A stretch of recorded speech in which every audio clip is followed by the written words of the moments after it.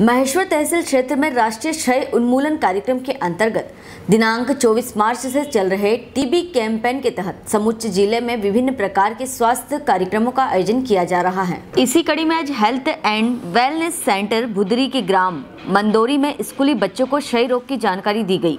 सामुदायिक स्वास्थ्य अधिकारी सौरभ शर्मा ने बच्चों एवं शिक्षक जनों को टीबी के लक्षण एवं प्रभावशीलता के बारे में बताया एवं बीमारी से बचाव के लिए शपथ दिलाई। एएनएम रेखा गिरवाल ने बच्चों को क्षय रोग से बचाव की जानकारी दी। इस मौके पर आशा सहयोगी ग्राम की आशा प्रमिला मिश्रा व समस्त शिक्षक एवं ग्रामवासी मौजूद रहे। महेश्वर से दिलीप यादव की रिपोर्ट। हम अपने ग्राम से टीबी को टीबी को दूर करने का दूर करने का संकल्प लेते हैं। संकल्प लेते हैं। हम अपने हाथों को हम अपने हाथों को हमेशा साबुन से धोकर साफ़ रखेंगे कोई भी खाने की चीज़ छूने से पहले हम हाथ ज़रूर धोएँगे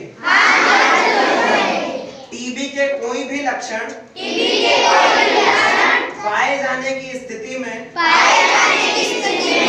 हम दूसरे लोगों को हम दूसरे लोगों को और परिवार से और परिवार से निश्चित दूरी बनाकर रखेंगे। निश्चित दूरी बनाकर रखेंगे। हम बीमारी के दौरान हम बीमारी के दौरान अपना रुमाल अपना रुमाल तौलिया आदि अलग रखेंगे। लगातार खांसी होगी तो? लगातार खांसी होगी तो? डॉक्टर से जाकर डॉक्टर से जाकर मिलेंगे और मिलेंगे मास्क का प्रयोग करेंगे। मास्क का प्रयोग करेंगे। हमें टीबी के बारे में हमें टीबी के बारे में बताया जाता है। बताया जाता है। तो हर बात को गौर से सुनेंगे। लगातार दो हफ़्ते की खांसी